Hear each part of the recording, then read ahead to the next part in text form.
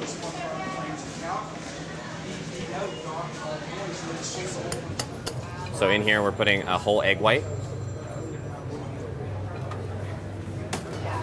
And then an ounce and a half of Eau Claire Parlour Gin. Half an ounce of Aperol.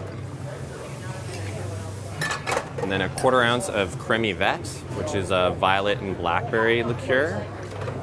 And then three quarter ounce of lemon juice. And then three quarter ounce of simple syrup.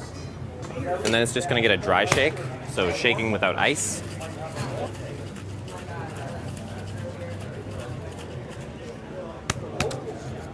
And then we'll give it another shake with some ice in there.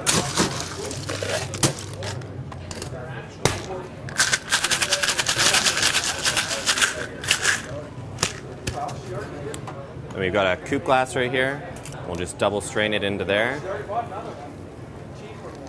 Then we're just going to garnish it with a couple rose petals. And then a little spritz of rose water on top.